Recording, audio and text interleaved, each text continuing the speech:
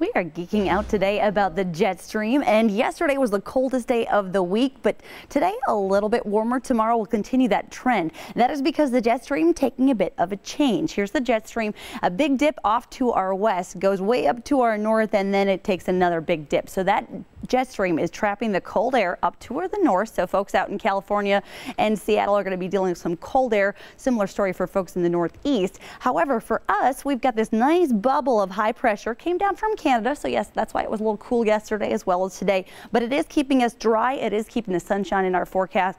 And it's really keeping the warmer air uh, right in the middle section of the country. Now this is what is actually called a blocking pattern. So typically the reason why we have so many sunny days in a row is because this is actually going to kind of stall those weather systems. And if you're wondering why exactly it's called an omega block, it's because it looks like the Greek letter omega. It's going to kind of settle our weather and keep us drier as we get closer and closer to the Brewers home opener. Also really helps the uh, car wash forecast as well. So you get a green light for today as well as for Wednesday. We'll still call it a green light. I'd say maybe a cautionary tale as we get closer to Thursday with a chance for a few light sprinkles.